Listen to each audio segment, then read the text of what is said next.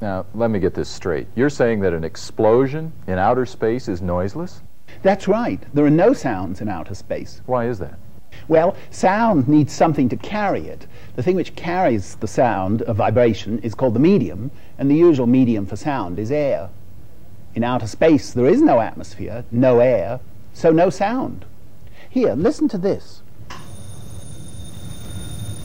The reason we can hear the bell is that there is air inside the jar.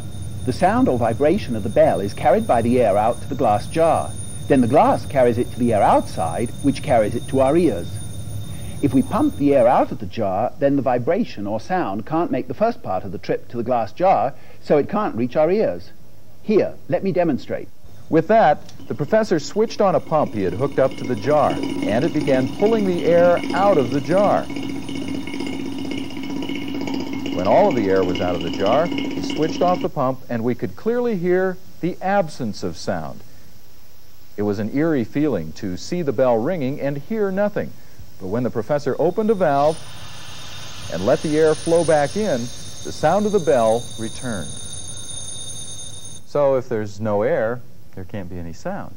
Well, that's nearly right. Other things besides air can act as the medium and carry the sound. For instance, if I were underwater, you could hear me through the water.